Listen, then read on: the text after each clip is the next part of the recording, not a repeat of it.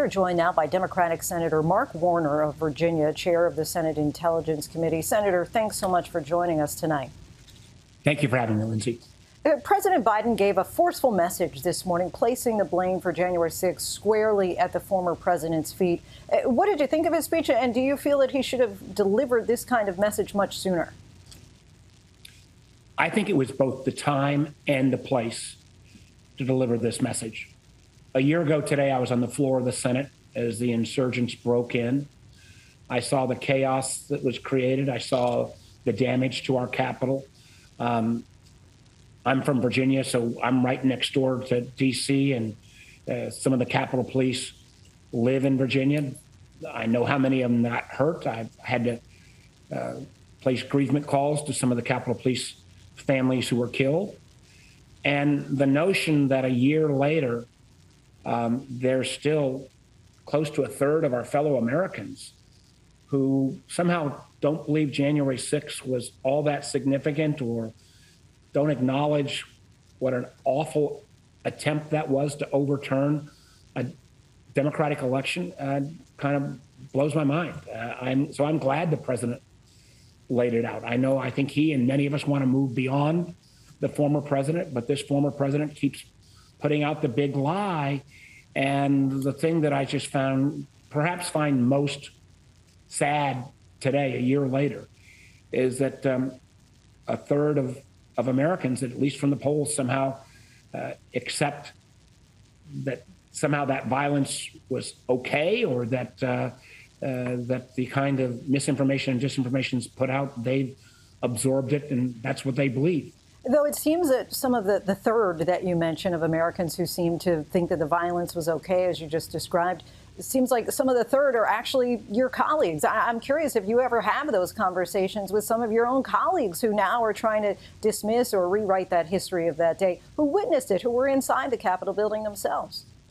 Well, I do remember uh, there had been about 14 senators who thought they were going to vote to not recognize the election.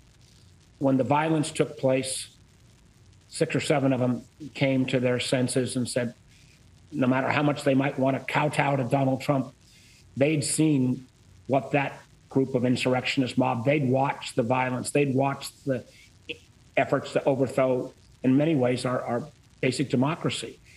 Uh, and they changed. The, the seven or eight that still voted to um, voted with the big lie, uh, my view of those individuals have changed fundamentally. So it's not something that you directly ever go to and say, hey, what are you thinking? What you know, and try and actually have the dialogue.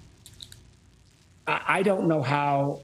Uh, we, we, we have a right in this country to have different views, and, and I will argue strenuously uh, my position, and everybody's got a right to argue against that. But the, the reality of people who lived through that day of violence, uh, the reality of those who lived through and saw the destruction that was brought to our capital, um, for them to, uh, for simply not wanting to get on the wrong side of the ego of Donald Trump to kind of somehow defend that. Eh, some Democrats have said that Attorney General Merrick Garland has not done enough to hold the planners of the insurrection accountable. He pushed back against that in a speech yesterday, saying, quote, the actions taken thus far will not be our last. In your view, what more should the Attorney General and Justice Department be doing? I have always been frustrated by how, how slow um, the wheels of justice in our court system moves in this country. But on this one, I'd rather make sure the Department of Justice gets it right, does it completely by the book, because anything, any further actions they bring, particularly if it's against some of the people who may have been involved in some of these groups, the Proud Boys or the Three Percenters or the, I would call them domestic terrorist groups, um, they've got to have their cases solid. So while I'd love to see action move quicker, it's better to get the facts right. And lastly, Senator, I'm curious if when you look back a year ago, when, when you and your colleagues and staff were sheltered in the Capitol during the attack, you said that you yourself were on the floor. Did you think that anything would change for American politics coming out of that experience? Uh, and are you disappointed with where we are today? I thought in the immediate days afterwards, there was uniform condemnation of what happened on the 6th. And there was pretty much uniform condemnation of the role the former president played.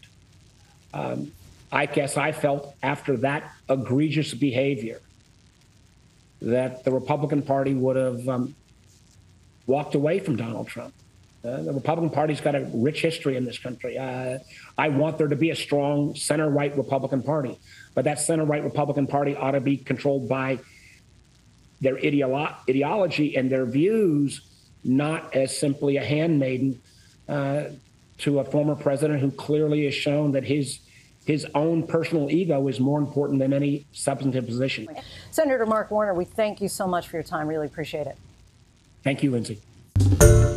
Hi, everyone. George Stephanopoulos here. Thanks for checking out the ABC News YouTube channel. If you'd like to get more videos, show highlights, and watch live event coverage, click on the right over here to subscribe to our channel. And don't forget to download the ABC News app for breaking news alerts. Thanks for watching.